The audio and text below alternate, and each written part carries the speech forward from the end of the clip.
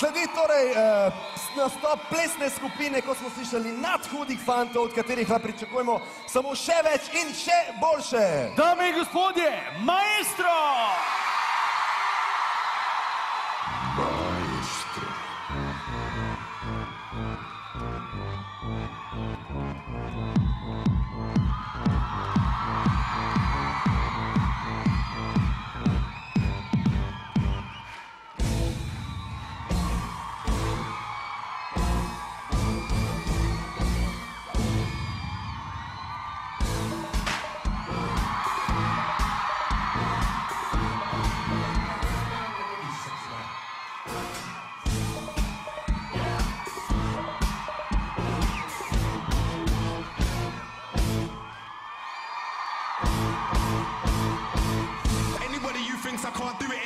Step right back and take that.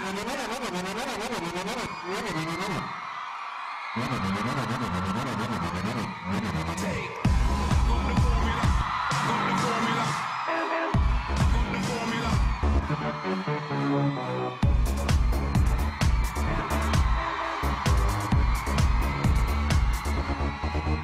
formula. Da porta picchita va bene Se tu la parla miezza americano. Come da cave di I love you. Papà l'americano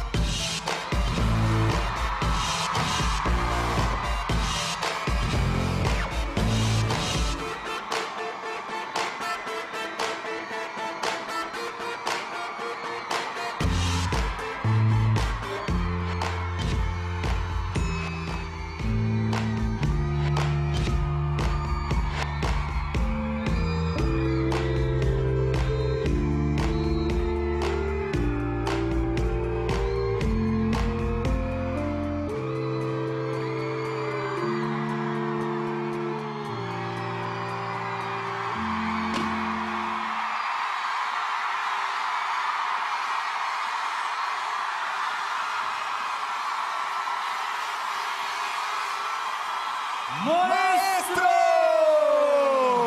Ha? Ali je bil Magic Brane zraven? Magic danes se mi zdi, da je nek- Ale, Ale, le, le, le. le, mi da gremo pa lahko noter. Pošast, pošasti iz omare, ha? Ej! Ej!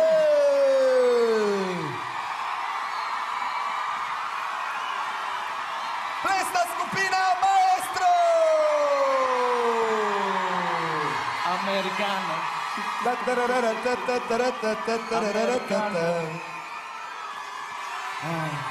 Mene kar všeč ta rekletka. Ja, to. Ja, se s tem kaj boste pomeni. Op, Ova. op. Ja. Ponava- surfing, man. I'm surfing. It's awesome.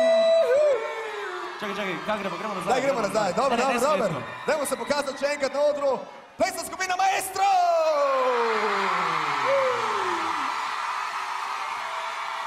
Bada bim, bada bum. Ha? Eh, Americano. Kak ste, vredi? Zmatrani. Zmatrani. Od tudi najbrž od vaje, koliko časa ste vadili za eno tako točko? Kar dolg.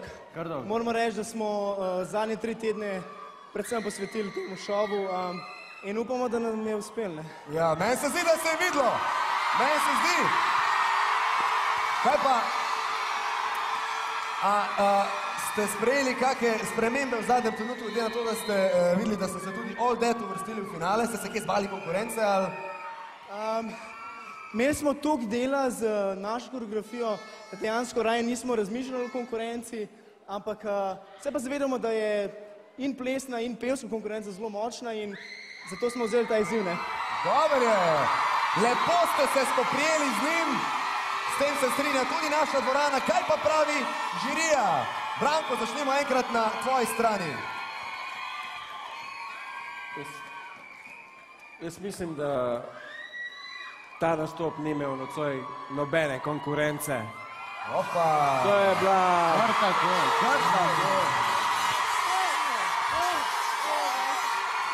to je bila, še zdaj mi ne gre v glavo, sedem vas je, bila je pa ena roka, en gib, eno telo, fantastično. Najlepša hvala, Branko.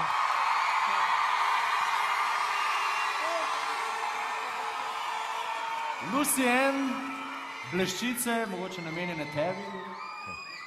Jaz sem pričakovala, da bojo naredili en spektakel, ne? ampak tak spektakel, mislim, to ni res, to je ni res. To... Hvala.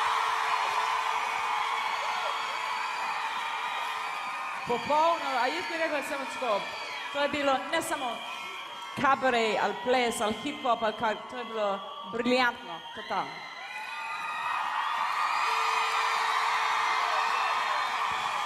Hvala lepa, Lucien, in na koncu še. Brane,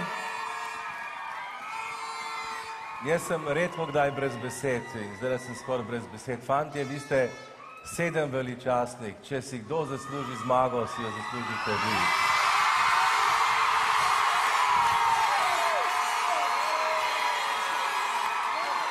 Ja, najlepša hvala žiri, če bi radi.